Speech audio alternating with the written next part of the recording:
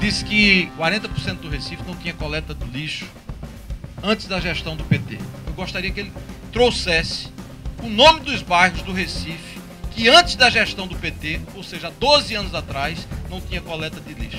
Imaginem vocês, 40% da cidade há 12 anos atrás sem coleta de lixo. Era o caos. Absoluto. O caos absoluto. Eu não sei de onde Humberto tirou essa informação. Eu imagino que tenha sido de alguém muito incompetente ao lado da sua assessoria, porque isso não existe.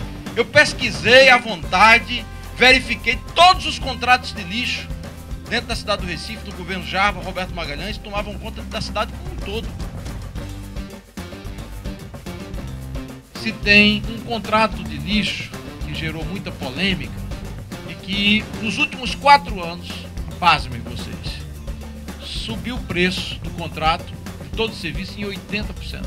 80% em quatro anos. Por que a administração do PT paga tão caro por uma coleta de lixo e limpeza e destino do lixo tão ruim? O problema é que ele não tem explicação para dar como o Recife paga 80% de aumento. São quase 200 milhões por ano de custo de limpeza da cidade, minha gente. Isso é dinheiro que falta na educação, é dinheiro que falta no investimento básico para a manutenção das vias públicas, das calçadas, da iluminação pública. É por isso que a, cidade não tem dinheiro. É por isso que a cidade é tão mal cuidada.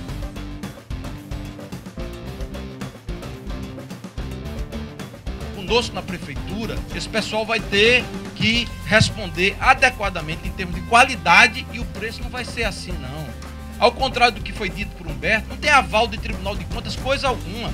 Foi prorrogada diversas vezes a dispensa de licitação que denota uma grande briga dentro do próprio da própria administração municipal por conta desse contrato do lixo. Essa é a verdade, que eu não vou calar, porque eu sou um candidato à oposição e quero buscar a restauração daquilo que deve ser o respeito ao dinheiro público dentro da prefeitura da cidade do Recife.